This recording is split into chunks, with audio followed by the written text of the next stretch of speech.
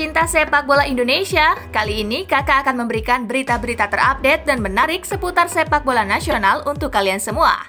Selamat menyaksikan!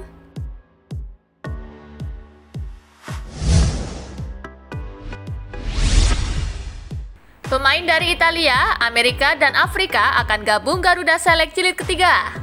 Beberapa pemain dari benua Amerika dan Afrika serta dari Italia akan terlibat dalam proyek Garuda Select Jilid ketiga.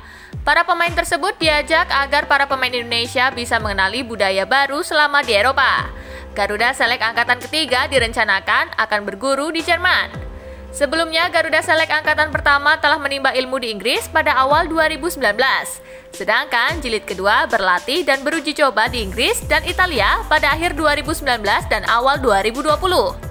Selama di Jerman, Garuda Select Angkatan ketiga akan menghadapi tim junior kesebelasan Bundesliga, di antaranya Bayern Munchen, Borussia Dortmund, FC Schalke, Eintracht Frankfurt, dan FC Köln. Kali ini akan ada beberapa pemain dari Italia, Amerika, dan Afrika yang akan bergabung dengan tim Garuda Select untuk memaksa anak-anak mengenal budaya baru selama mereka berlatih dan bertanding di Eropa nanti. Kata perwakilan Mola TV, Mirwan Suarso.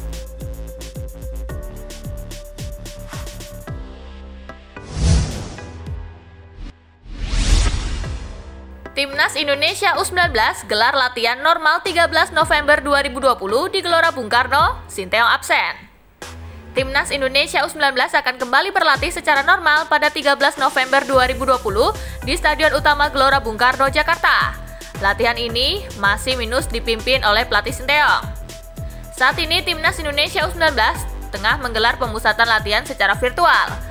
Para pemain berlatih di rumah sambil dipantau melalui konfederasi video oleh tim pelatih dari Korea Selatan.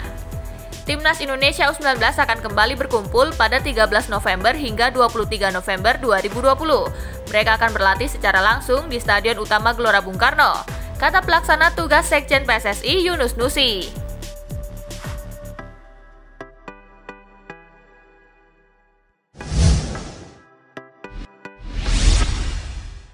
Jawaban PSSI, ke mana Timnas Indonesia U19 TC? PLT Sekjen PSSI Yunus Nusi mengatakan, Belanda atau Korea Selatan akan menjadi lokasi pemusatan latihan tim nasional Indonesia U19 selanjutnya.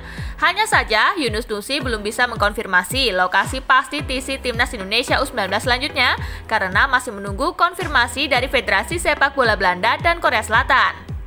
Lokasi pemusatan latihan timnas Indonesia U19 selanjutnya antara di Belanda atau Korea Selatan. Soal negara mana yang kami pilih nanti, kami masih menunggu jawaban dari Federasi Sepak Bola negara masing-masing, kata Yunus Nusi.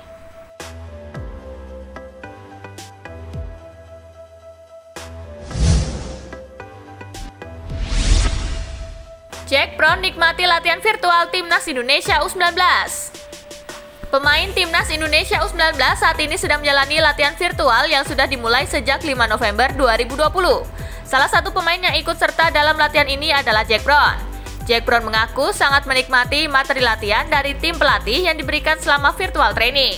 Agenda ini berlangsung setiap hari selama satu jam dari pukul 9 hingga 10 pagi waktu Indonesia bagian Barat. Saya dalam kondisi baik dan selalu bersemangat mengikuti semua instruksi dari pelatih. Kami diberikan berbagai materi saat virtual home training seperti core, upper body, dan lain-lain, kata Jack Brown dikutip dari laman resmi PSSI.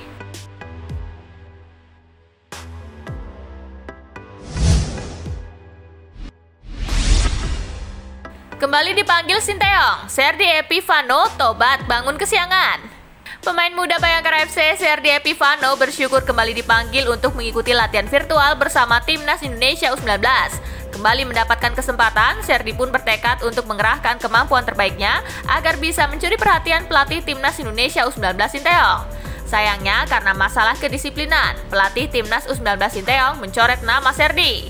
Rasanya pasti senang bisa dipercaya lagi. Kali ini saya mau lebih serius, tidak ingin mengulangi kesalahan seperti kemarin, kata Serdi.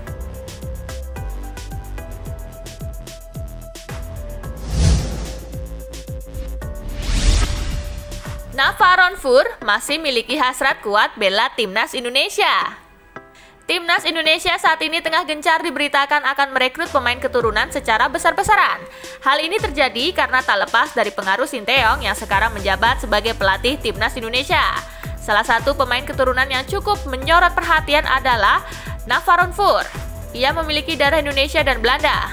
Pemain yang berposisi sebagai gelandang itu saat ini membela klub asal Siprus, Pavos FC. Fur sebenarnya bukan nama baru. Pemain 28 tahun itu sudah lama dikabarkan akan menjalani proses naturalisasi agar bisa membela timnas Indonesia.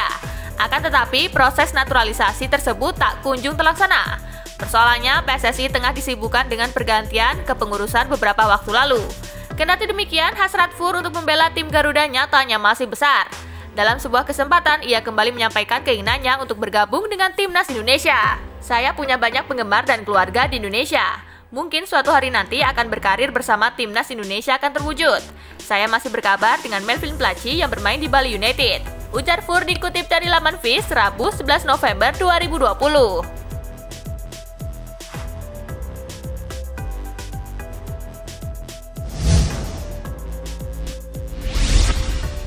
Nah itulah tadi gengs, berita-berita menarik dan terupdate seputar sepak bola nasional. Simak terus ya berita-berita menarik lainnya dari Spasi Football Indonesia. Sampai jumpa di pembahasan selanjutnya.